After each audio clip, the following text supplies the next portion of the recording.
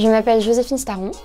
Je suis doctorante en philosophie politique à la faculté des lettres de Sorbonne Université sous la direction du professeur Pierre-Henri Tavoyot.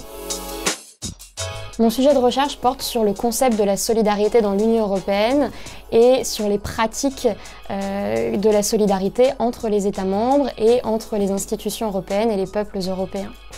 On se souvient notamment du discours de Robert Schuman en 1950 dans lequel il appelle de ses voeux le passage à une solidarité de production qui unirait les États euh, les uns aux autres à l'issue de la Seconde Guerre mondiale et donc d'un contexte peu propice à l'expression de nouvelles solidarités.